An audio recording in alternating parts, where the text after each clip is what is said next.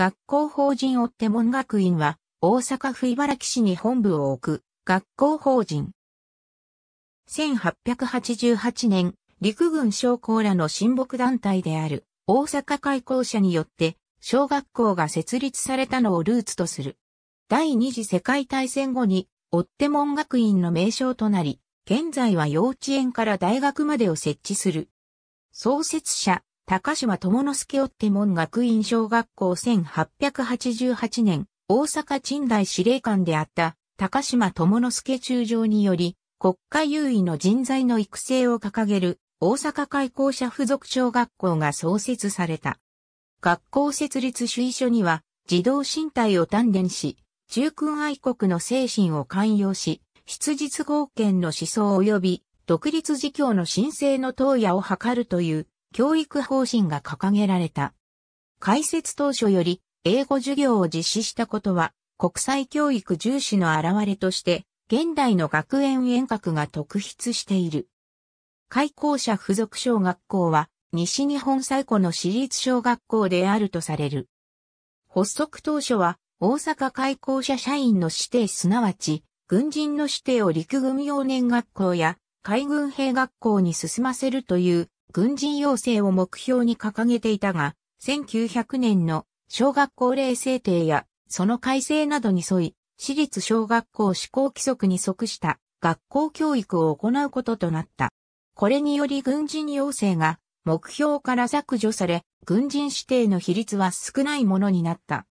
1915年時点では、財界、放送会、医学関係者指定等が8割以上を占め、軍人指定は2割にも満たなかったという。1913年に学校長に就任し、25年間その職にあった片桐武一郎は名校長とされ、片桐が定めた教育目標は戦後もほとんどが引き継がれた。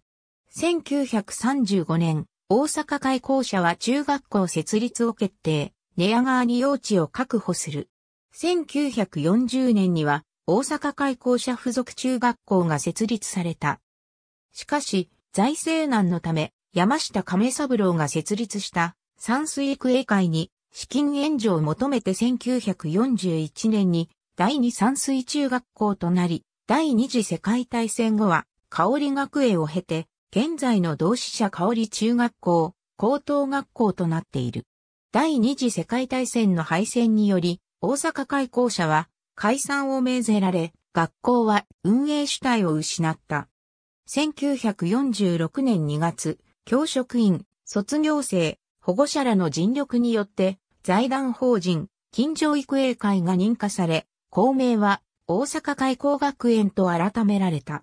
しかし、金城育英会は大阪開校者の後継団体であるとして、同年12月に解散が命じられる。折衝の末、1947年に財団法人大手前学園が認可され、かつての大阪開校者の色彩を消し去ることが条件とされた。このため関係者は学校存続のために形式的な面では開校者附属小学校とは関係のない新しい学校であることを標榜した。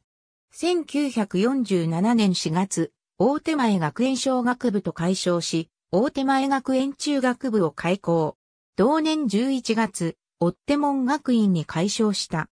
近接地に大阪府立大手前高等女学校を運営する大阪府から紛らわしいとの申し入れがあったためという。追手門は学校所在地の旧町名、追手通による。